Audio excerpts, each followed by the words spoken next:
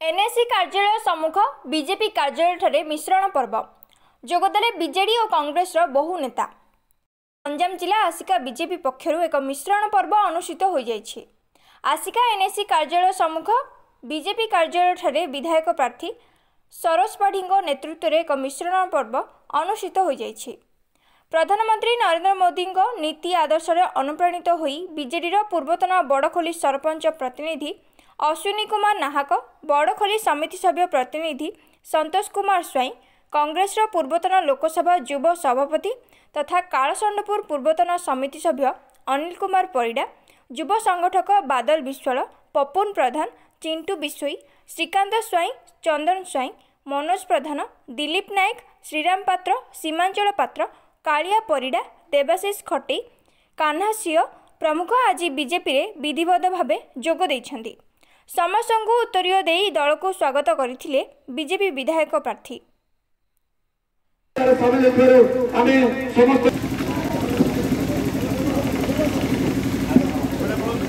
ଅଶ୍ୱିନୀ ଭାଇ ଅଶ୍ୱିନୀ ଭାଇ ମଞ୍ଚ ପାଖରେ ଆସନ୍ତୁ ଅଶ୍ୱିନୀ ଭାଇ ଆସନ୍ତୁ।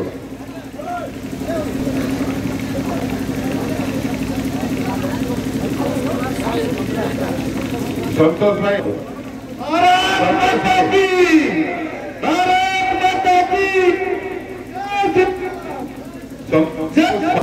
이쪽인데.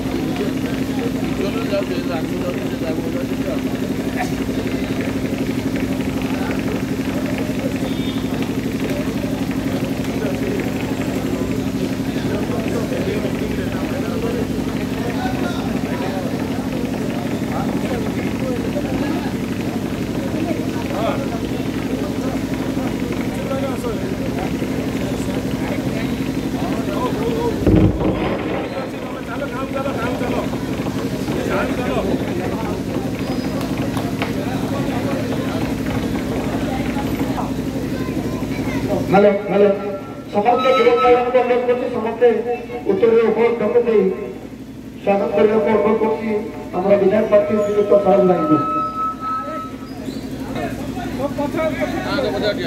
ଧନ୍ୟବାଦ ସମସ୍ତଙ୍କୁ ବର୍ତ୍ତମାନ ଆମର ସରୋଜ ଭାଇକୁ ଅନିଲ ଭାଇଙ୍କୁ ଅନୁରୋଧ କରିବି ସେ ଦୁଇ ପଦ ଅଭିଭାଷଣ ରଖିବେ ଆଜି ଯୋଉ ଜୟ ଶ୍ରୀରାମ ଭାରତ ମାତା କି ଭାରତ ମାତା କି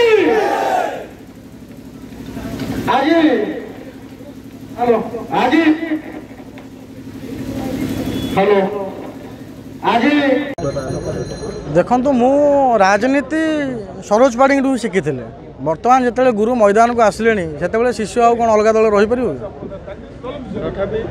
ତଥାପି ଯେଉଁ ପ୍ରକାର ମୋଦିଙ୍କର ଦେଶରେ ଆହ୍ୱାନ ଚାଲିଛି ଯେଉଁ ପ୍ରକାର ଡବଲ ଇଞ୍ଜିନ୍ ସରକାର ପାଇଁ ପଲ୍ଲୀରୁ ଦିଲ୍ଲୀ ଯାଏଁ ଆକୁଳ ବ୍ୟାକୁଳ ଯୁବକ ବର୍ଗ ହୁଅନ୍ତୁ ବରିଷ୍ଠ ନେତୃବୃନ୍ଦ ହୁଅନ୍ତୁ ଉଚ୍ଚଶିକ୍ଷିତ ଲୋକ ହୁଅନ୍ତୁ ସମସ୍ତେ ବର୍ତ୍ତମାନ ଏବେ ପଦ୍ମ ଫୁଲ ଫୁଟାଇବା ଆଉ ଲେଖା ଛିଡ଼ାଇବା ଓଡ଼ିଶାରେ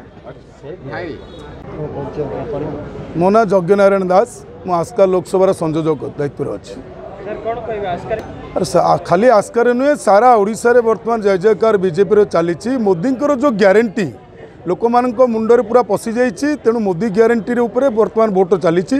ଆପଣମାନେ ଦେଖିବେ ଏଠି ତ ସମସ୍ୟା ହିଁ ସମସ୍ୟା ଚାଲିଛି। ଦୀର୍ଘ ଦୀର୍ଘ ଚବିଶ ବର୍ଷର ସରକାରରେ ଏଠି କିଛି ହେଇନି ଖାଲି ଗୋଟିଏ ଜିନିଷ ଅଛି ଗାଁ ଗାଁରେ ମଦ ଦୋକାନ ଆଉ ଦାଦନ ଯିବାର କଥା।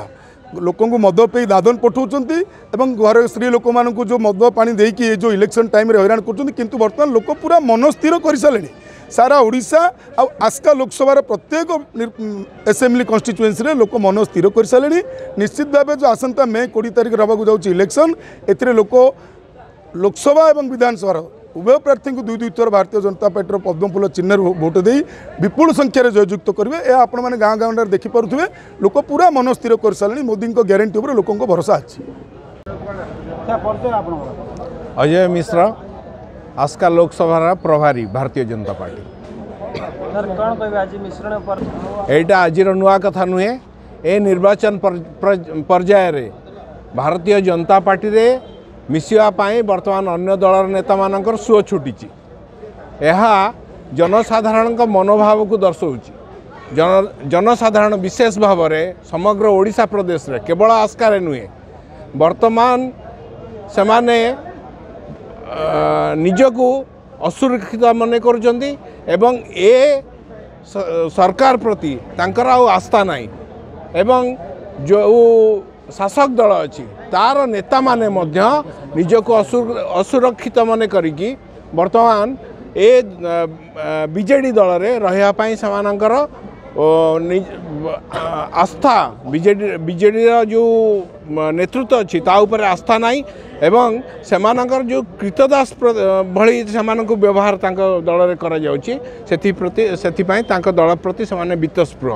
ସେମାନଙ୍କର ଆସ୍ଥା ଭାରତୀୟ ଜନତା ପା- ପାର୍ଟି ପାଇଁ ବଢ଼ୁଛି ଏବଂ ଭାରତ ବର୍ଷରେ ଆମର ସ୍ୱନାମଧନ୍ୟ ପ୍ରଧାନମନ୍ତ୍ରୀ ଅ, ନରେନ୍ଦ୍ର ମୋଦିଙ୍କର ଯେଉଁ ନେତୃତ୍ୱ ଭାରତବର୍ଷକୁ ଆଗଉଛି ଏବଂ ଓଡ଼ିଶା ପ୍ରତି ତାଙ୍କର ଯେଉଁ ବିଶେଷ ଶ୍ରଦ୍ଧା ସେଥିରେ ଓଡ଼ିଶାବାସୀମାନେ ତାଙ୍କ ପାଇଁ ବିଶେଷ ଶ୍ରଦ୍ଧା ରଖିଛନ୍ତି ଏବଂ ଏ ନିର୍ବାଚନରେ ନିଶ୍ଚିତ ଭାବରେ ଭାରତୀୟ ଜନତା ପାର୍ଟିକୁ ଜୟଯୁକ୍ତ କରିବେ ଏବଂ ଭାରତୀୟ ଜନତା ପାର୍ଟି ଏଠି ଶାସନ କରିବ ଶାସନ ଗାଦିକୁ ଆସିବ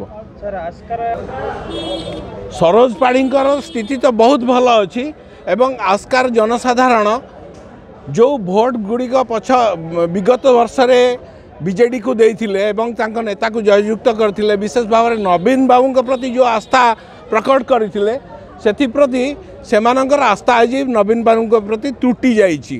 ତାଙ୍କର ଯେଉଁ ବିଶେଷ ଭାବରେ ଆସ୍କା ପ୍ରତି ଯେଉଁ ଅ, ଜନସାଧାରଣଙ୍କ ପ୍ରତି ଯେଉଁ କର୍ତ୍ତବ୍ୟ ଥିଲା ସେ କର୍ତ୍ତବ୍ୟକୁ ସମ୍ପାଦନ କରିନାହାନ୍ତି ଏବଂ ଯେଉଁ ଅ, ଘରେ ଘରେ ଏଠି ଯେଉଁ ଦାଦନ ଶ୍ରମିକ ବାହାରକୁ ଯାଉଥିଲେ ଏବଂ ଏଠି ଯେଉଁ ଗରିବୀ ଥିଲା ଏଠି ଅ, ବିଭିନ୍ନ ରକମର ଅ, ପ୍ରୋତ୍ସାହନ ଦେବା କଥା ଦରିଦ୍ରମାନଙ୍କୁ ସେ ସେ ଦ- ପ୍ରୋତ୍ସାହନ ବି ନାହିଁ ତେଣୁ ଲୋକମାନେ ବର୍ତ୍ତମାନ ତାଙ୍କ ପ୍ରତି ବି- ବିତସ୍ପୃହ ତେଣୁ ଲୋକମାନେ ମନ ବଳେଇଲେଣି ଯେ ତାଙ୍କର ଭୋଟକୁ ଆଉ ନବୀନ ବାବୁଙ୍କ ଦଳକୁ ନ ଦେଇକିରି ନଷ୍ଟ କରିବାକୁ ଚାହୁଁନାହାନ୍ତି ସେମାନେ ଭାରତୀୟ ଜନତା ପାର୍ଟିକି ତାଙ୍କ ଭୋଟକୁ ଦେବେ ଏବଂ ସରକାର ବଦଳେଇବେ।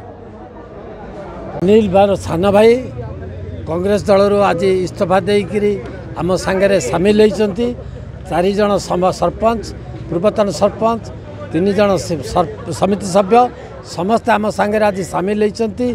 ଆଜି ଭାରତୀୟ ଜନତା ପାର୍ଟିର ପରିବାରର ବଢ଼ିଛି ଏଇଟେ ସରୋଜ ଭାଇର ପରିବାର ଏଇଟେ ବଢ଼ିଛି ଆମ ପରିବାରକୁ ସମସ୍ତଙ୍କୁ ସ୍ୱାଗତ କରୁଛି ଏବଂ ସମସ୍ତେ ଏଥର ମିଳିମିଶିକିରି ଏ ନବୀନ ସରକାରକୁ ହଟେଇବା ପାଇଁ ଏବଂ ଏଇଠି ପଦ୍ମ ଫୁଲର ସରକାର ଆଣିବା ପାଇଁ ଏବଂ ଏଇଠି ସରୋଜ ଭାଇକୁ ଜିତେଇବା ପାଇଁ ସମସ୍ତେ ଏକାଗ୍ରତାର ସହିତ ପରିଶ୍ରମ କରିବେ ବୋଲି ଆଶା କରୁଛି। ବିଜେପି ପାଖରୁ ଯେଉଁ ପ୍ରକାର ବାର୍ତ୍ତା ଯାଉଛି ଆପଣ ଦେଖୁଥିବେ ନରେନ୍ଦ୍ର ମୋଦି ଆଜି କାଲି ବ୍ରହ୍ମପୁର ଗସ୍ତରେ ଶାହା ଆସୁଛନ୍ତି ନଡ୍ଡା ଆଜି ଓଡ଼ିଶା ଗସ୍ତରେ ସମସ୍ତେ ଆଜି ଆସୁଛନ୍ତି ବଡ଼ ବଡ଼ ନେତା ଭାରତର ଯେତେ ନେତା ଅଛନ୍ତି ସମସ୍ତେ ଗୋଟିଏ କଥାକୁ କହୁଛନ୍ତି ଓଡ଼ିଶାର ସ୍ୱାଭିମାନ ଆଜି ବିପଦରେ ଓଡ଼ିଆ ଜାତିର ଗୌରବ ଆଜି ବିପଦରେ ଓଡ଼ିଆ ଭାଷା ଆଜି ବିପଦରେ ତେଣୁ ଆମର ଜାତିର ଗୌରବକୁ ସ୍ୱାଭିମାନକୁ ସମ୍ମାନକୁ ରକ୍ଷା କରିବା ପାଇଁ ଗୋଟେ ତାମିଲ ହାତରୁ ଓଡ଼ିଶା ଜାତିକି ବଞ୍ଚାଇବା ପାଇଁ ଏ ସଂଗ୍ରାମ ଏ ସଂଗ୍ରାମରେ ନିଶ୍ଚୟ ଭାରତୀୟ ଜନତା ପାର୍ଟି ବିଜୟ ହାସଲ କରିବ ଏବଂ ଓଡ଼ିଶାରେ ସରକାର କରିବ ଏବଂ ଚାରିଶହରୁ ଉର୍ଦ୍ଧ୍ୱ ସିଟ୍ ଯାଇ ମୋଦି ପୁଣି ଥରେ ପ୍ରଧାନମନ୍ତ୍ରୀ ଭାରତର ହେବେ ଏତିକି କହିବାକୁ। ସାର୍ କୁହାଯିବ ତ ଏବଂ କାହା ସହିତ ଆପଣଙ୍କର ଟକ୍କର ହେଉନି ଏଠି ଆଜ୍ଞା। ଆସିକାରେ କୌଣସି ପ୍ରକାର ଟକ୍କର ନାହିଁ। ଏଇଠି ଏକତରଫା ଭୋଟ ହେଉଛି ଭାରତୀୟ ଜନତା ପାର୍ଟି ଏ ପଦ୍ମ ଫୁଲ ଏଇଠି ଏକତରଫା ଭାବରେ ବିଜୟ ହାସଲ କରୁଛି ଏଇଠି ଟକ୍କରର ପ୍ରଶ୍ନ ହିଁ ଉଠୁନି ଥ୍ୟାଙ୍କ ୟୁ ସାର୍